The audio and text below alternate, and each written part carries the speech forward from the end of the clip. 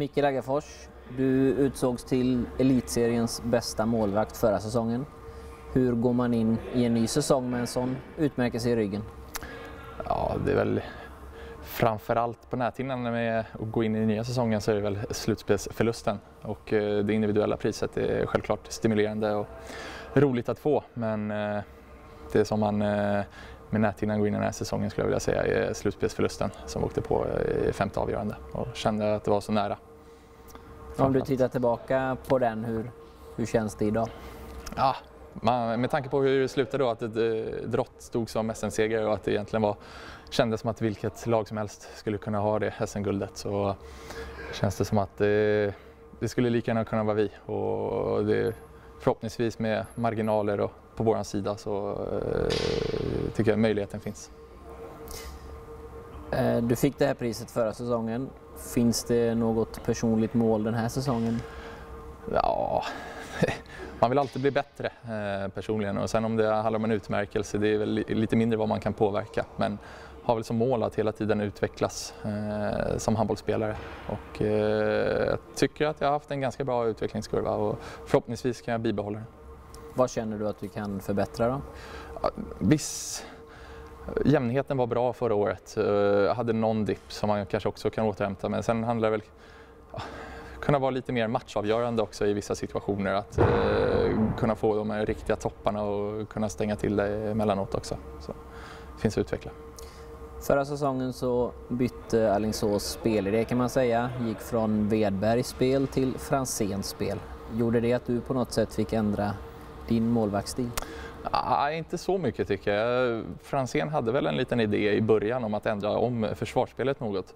Och eh, det lyckades väl inte riktigt. Jag tycker att eh, det försvarsspel som Vedberg byggde upp under sin tid eh, fortsatte under förra säsongen. Och eh, jag tycker att jag har hittat en ganska bra trygghet i, i vårt eh, försvarsspel och jag trivs väldigt bra med det. Och eh, det var också en anledning till att utvecklingen fortsätter och fungerar. Att det är en bra trygghet i det. Tillsammans med Glenn Andersson så tillhör du de äldsta i truppen. Har du någon form av papparoll?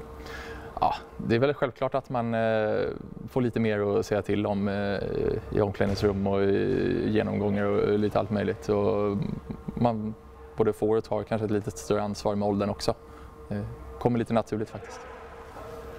Är du sån så att du kliver fram till de yngre och, och ger dem råd eller att de kommer till dig och ber om råd? Eller hur, hur fungerar du i de situationerna? Ja, lite små tips eh, här och var kan man eh, komma med eh, till och från.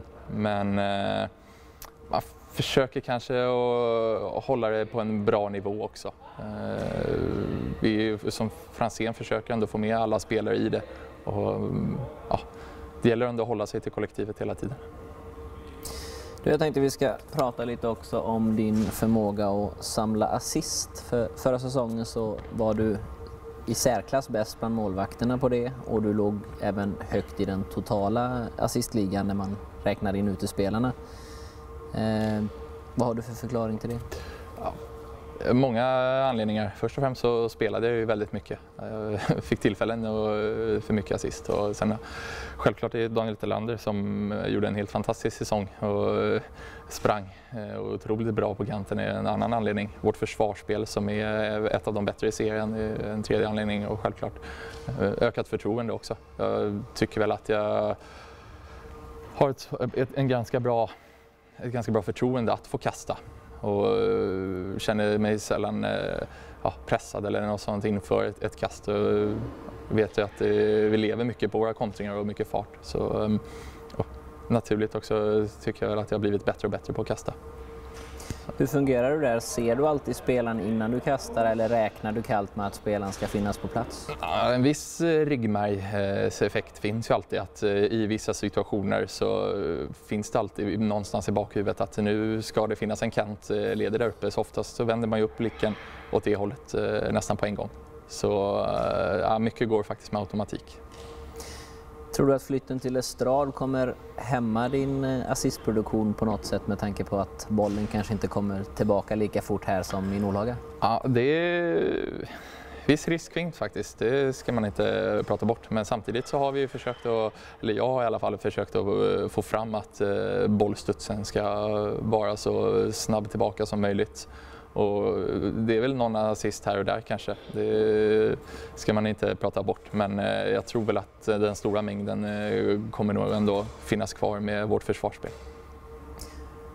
Vad tycker du om Estrad som hemmaarena annars? Ja, är den som de senaste två matcherna vi har spelat så är det väl ingenting att klaga på. Men eh, Nolhaga var en fantastisk arena. Det trycket som, eh, som alltid fanns och det kändes ju som att det nästan kunde vara vilken seriematch som helst så blev det alltid ett konstant tryck i den. Och serielunken kanske innebär att det blir något eh, glesare på läktaren i en lite större arena men eh, ja, det återstår att se. Men det känns ändå som att eh, om man kollar på övrig elitserie så är det det här man behöver ha. Nordhaga. Vi har växt ur Nordhaga i alla fall. Vi ska avsluta med fem snabba frågor. Vilket lag står som seriesegrare? Kristianstad. Vilken blir AKs grundserieplacering? Fyra. Vilka två lag spelar SM-final? Allingsås och Kristianstad. Vem blir AKs bästa målskytt? Tillander. Och vem blir hela elitseriens skyttekung? Sådan.